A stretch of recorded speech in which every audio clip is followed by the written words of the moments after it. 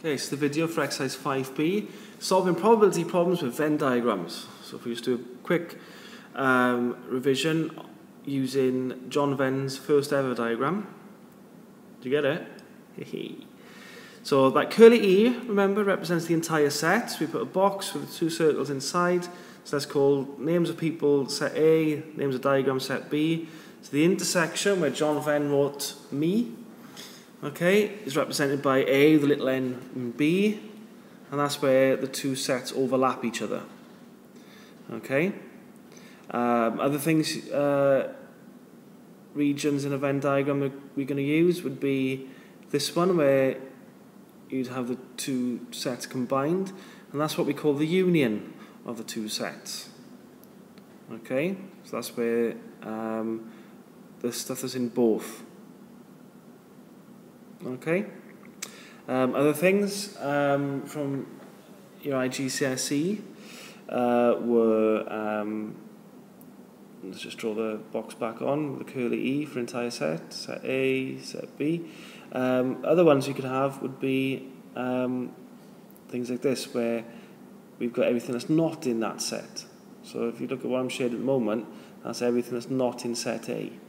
Uh, notation we use to describe that would be A, the little dash. So it's A dash. It's called the complement of set A. So this is stuff that's not in A.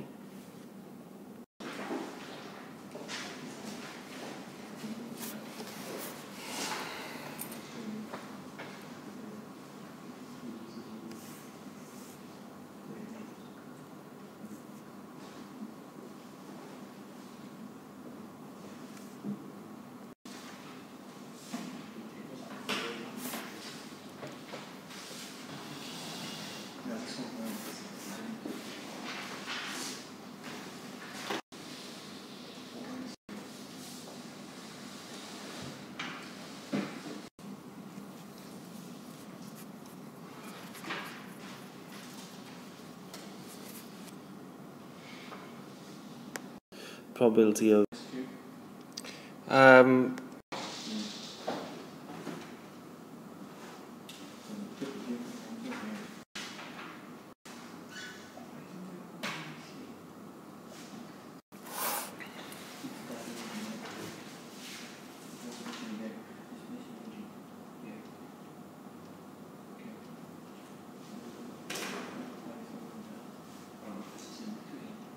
in Venn diagrams.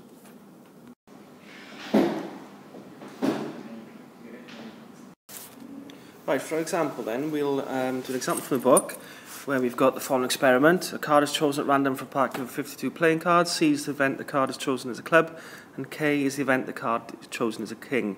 So first of all, we put that information into a Venn diagram, represented that way, and then we're going to uh, use the Venn diagram to work out a list of probabilities, which I'll write out in a second. So we've got our box, which is the entire set, and two circles representing the events C and K. So the intersection between C and K will be the card, that's a club, and a king. So that's going to be the king of clubs. There's only one king of clubs in a pack of playing cards, so we put number one there to represent one card that is a king and a club. Okay, again, now then for the circle for K, there's four kings in a pack of playing cards. We've already got one of them, the king of clubs. So in that little moon shape on the right-hand side, we'll put the number three, which represents the other three kings. Similarly with the C circle, um, there's 13 clubs in a pack of playing cards. So we've already got one of them, so we need a 12 to into that other part of the circle. Okay. Then also we're only dealing with clubs and kings at the moment, so there's all the diamonds and hearts cards and the spades cards as well. So if we do 52, take away 12 plus 1 plus 3, so just do a quick calculation on the side. That's going to be 52 take away 16. Okay. Um, and then that number is going to go outside the circles in that box, so it'll be 36. Okay? So then that's everything, all the sections of our Venn diagram are filled in. So now we can use that, because we know there's 52 card, cards in a pack, to work out some probabilities. So the probability of the event C, that means the probability of picking a card that's a club. So we've got 13 cards altogether in our C circle.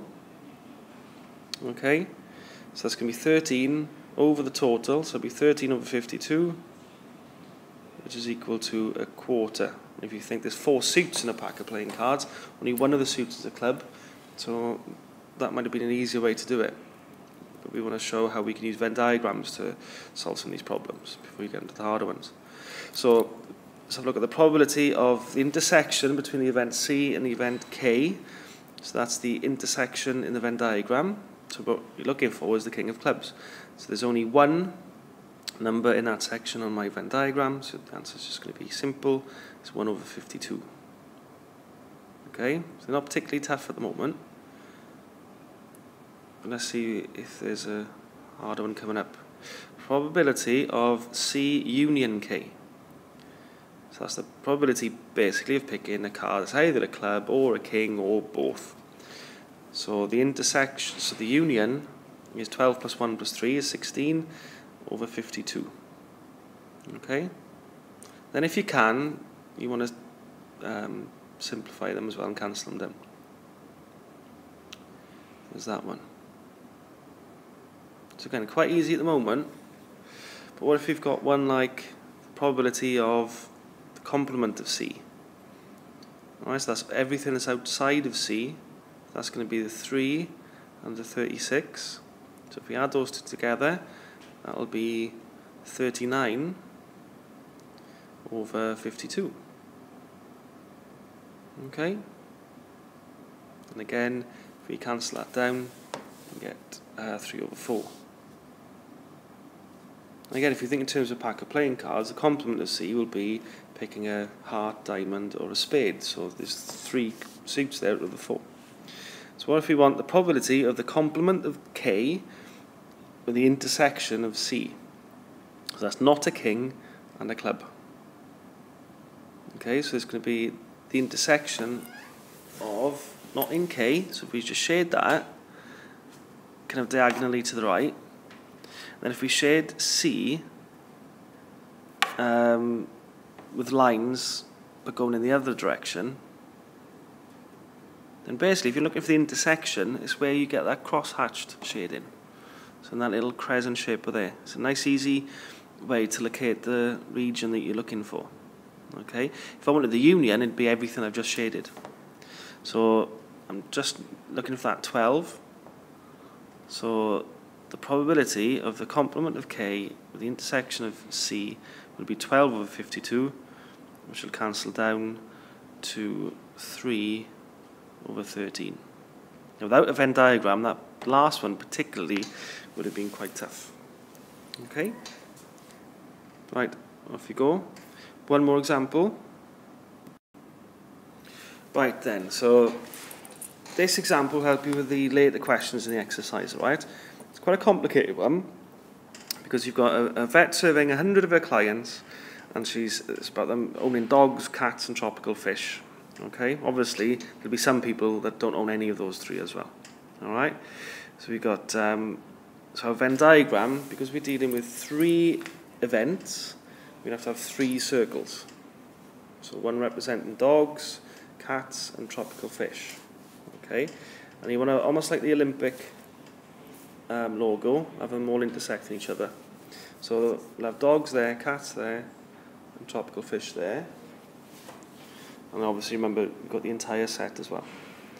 Now, you've got to take the information from these questions quite literally, all right? So when it says 25 people own dogs, that doesn't tell us how many of own dogs and cats, or dogs and tropical fish, or dogs and cats and tropical fish.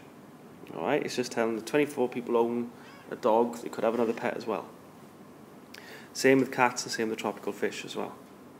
Okay, so we that those 53 and those 40, we don't know how many own the others as well. Similarly with these ones, 15 own dogs and cats, but that's that little rugby ball shape there, so we don't really know how many people own a dog, a cat, and a tropical fish as well. So you have to take this information quite literally. Now, quite often, it's the last bit of information is the bit you can start with. So if we know seven people own all three pets, then we can stick a seven in that middle bit. And then just cross that out because we've used that bit of information. Really, these kind of questions, I'm going to treat them like a puzzle, really. All right, so now we know 11 people own dogs and tropical fish. Because we know now how many people own dogs and tropical fish together with the cats, in that little left-hand bit of the rugby ball, we can put a 4, because 7 plus 4 equals 11. So a rugby ball shape there between the D and the T adds up to 11. Similarly with this one, um, we know that 10 people own cats and tropical fish, so we can fill in a 3 there. And if we work backwards, we've got 15 people own dogs and cats, so we've already got a 7 in there. So if we put um, 8 to fill up that little rugby ball shape, and now we can come back to the first three bits of information um, because we've got these numbers here in the middle. All right? Then, yeah. So, yeah, I don't know what's going on there with the cursor. Right, so 40 own tropical fish. All right, so that entire circle has to add up to 40. All right, so if we do 4 plus 7 plus 3, work that out, take away from 40, and we get 26. So if we go back to cats, we know that circle there, all in all, is going to have to add up to 53. So 8 plus 7 plus 3, and then take that away from 53 gives us 35. And then we can finish off then with the dogs.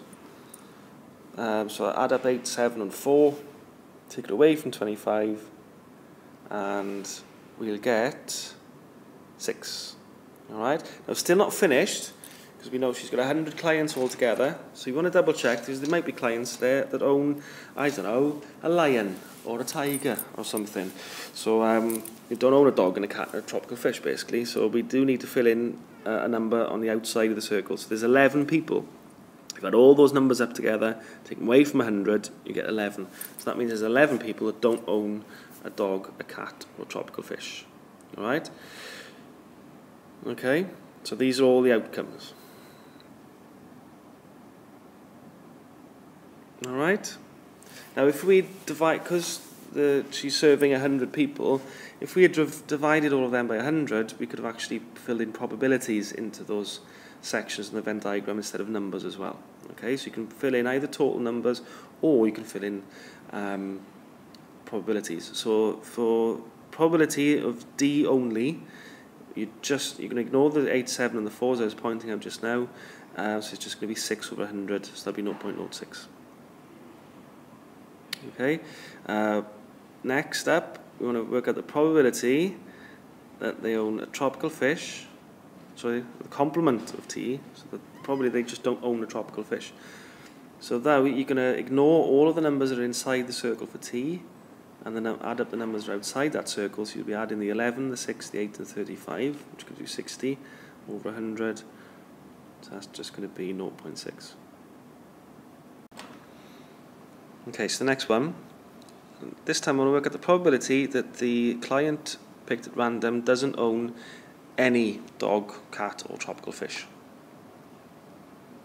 Okay, so that's just going to be that number 11 that was on the outside of the circle. It's simple, it's just 11 over 100, which would be 0.11. And you can leave these as fractions or as decimals, remember.